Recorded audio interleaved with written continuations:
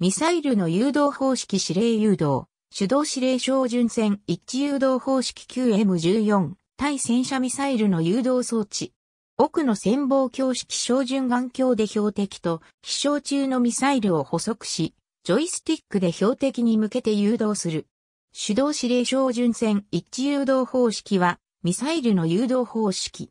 指令誘導の一種であり、第一世代のミサイルで主に使用される。マクロスでは、ミサイルはオペレーターがジョイスティックによる手動操縦で目標まで誘導する方式で、オペレーターの操縦は無線通信か有線通信でミサイルに伝達される。ミサイルを確実に命中させるためにはオペレーターが標的とミサイルの両方を常に補足し追尾し続ける必要があるので、高速で移動するミサイルをいかなる天候や時間でも確実に肉眼で補足できるように、ミサイルの後端には栄光弾と同様に光を発するマグネシウム式のフレアが装着され、発射と同時に点火される。マクロスは人間がミサイルをリモコン操縦するという性質上、使いこなすにはかなりの訓練を積む必要があり、命中精度は、い手の技量によって大きく左右される。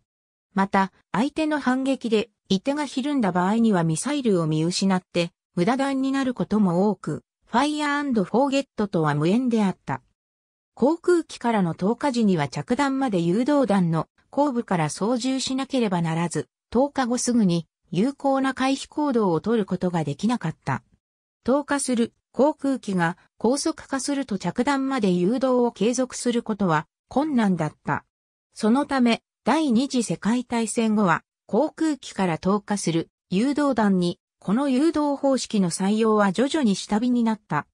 人間の判断力と神経反射速度の関係上ミサイルの飛翔速度の向上にも限界があるので、遠距離の目標に対する命中精度も下がる傾向が強く、標的にミサイルを発見されて、回避や反撃などの対処行動を取られるリスクも高まったので、後にはミサイルの操縦をコンピューターに任せる半自動指令小巡線一致誘導方式にとって変わられていった。無線によって遠隔操作するという概念は、ニコラ・テスラが19世紀末に実験したという記録がある。ジョン・ヘイズ・ハモンド・ジュニアは、テスラと共に無線操縦の研究を進めた。テスラは1898年7月1日に、この発明の特許を取得した。1903年には、スペインの技術者、レオナルド・トーレス・ケベードが、無線操縦システムテラ機能をパリ科学アカデミーで実演し、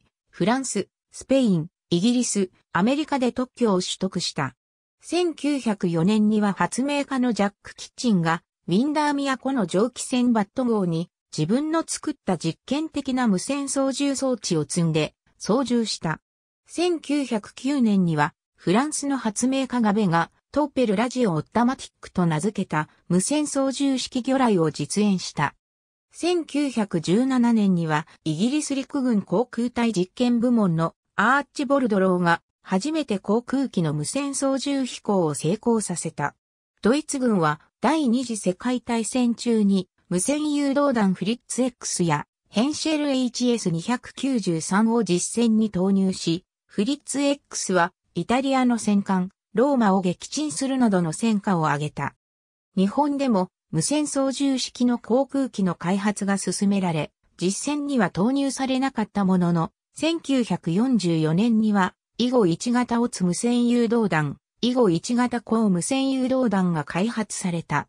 第二次世界大戦後にはソビエトが第二次世界大戦後にドイツから接収したフリッツ X を原型として、スナビ -3000 や UB-2000F の開発を進めたものの、ジェット爆撃機の高速化により、上実の手動指令小巡線一誘導方式の欠点が浮き彫りになり、開発は中止された。